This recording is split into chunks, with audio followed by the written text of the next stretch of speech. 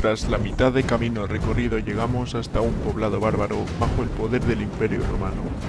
No fueron destruidos ya que el emperador Octavio Augusto llegó a un tratado pacífico con ellos. A cambio de la paz, ellos darían siempre alojamiento y auxilio al imperio siempre que los necesitara. Esa noche nos alojaríamos allí.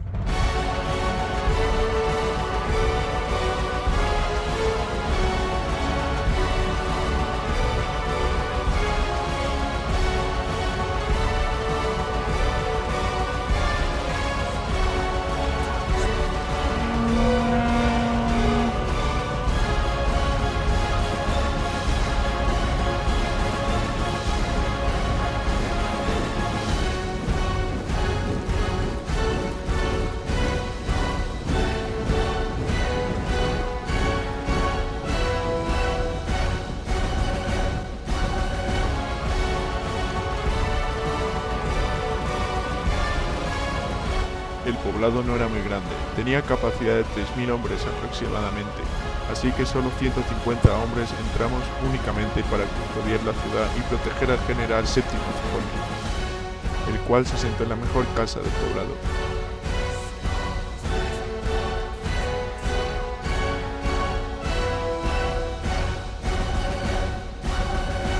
El resto de hombres montaron campamento fuera.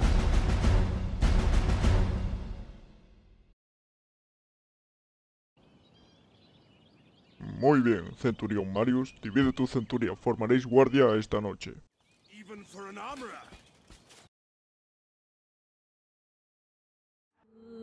Como era propio de los romanos, un alojamiento y comida no era suficiente.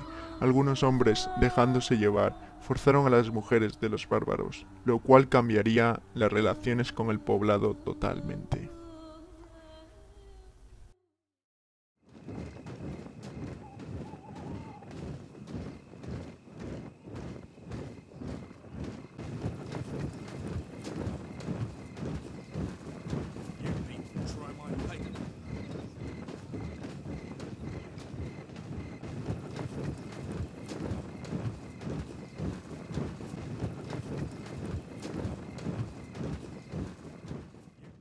Esto está demasiado silencioso, demasiado diría yo. No es muy propio de ellos.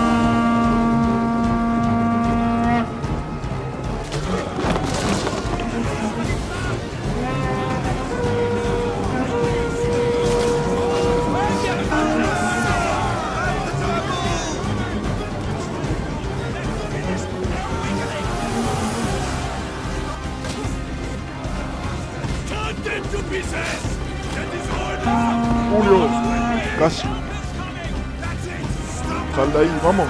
Sube ese caballo y avisa al general y al resto del ejército. Date prisa.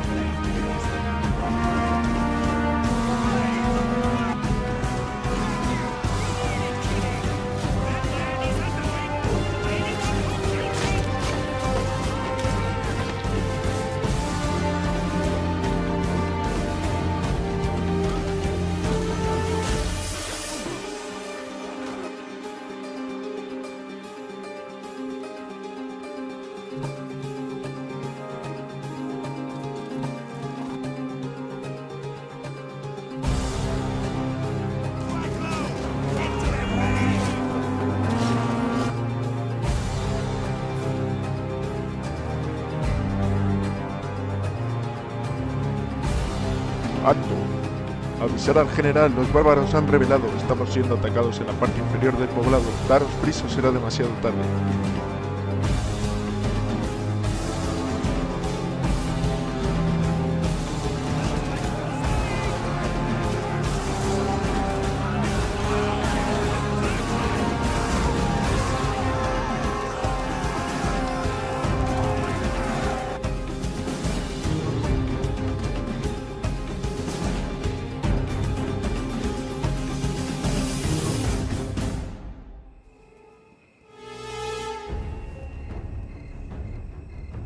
Legionarios, por orden del centurión Casio Querea, traer a todos los hombres, estamos bajo ataque.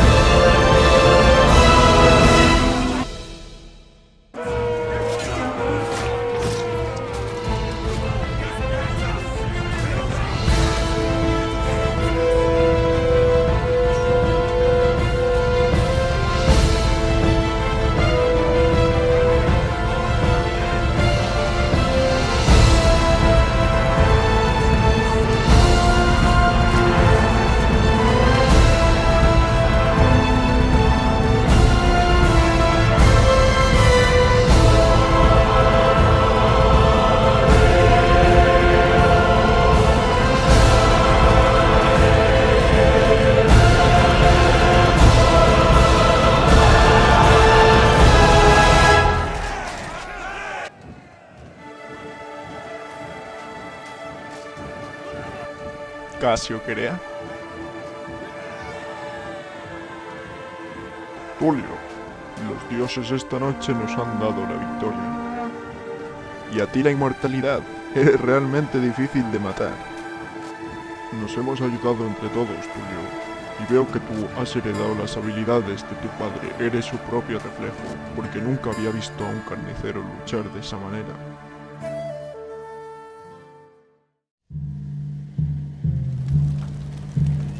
Al amanecer, el general Séptimo Cejonio ordenó quemar el poblado junto al resto de prisioneros hechos esa noche. Eran casi 3.000 bárbaros, pero nuestros hombres mejor armados y equipados pudieron con sus pieles al aire y sus armas oxidadas. Esa noche perdimos a hombres, a 400 hombres.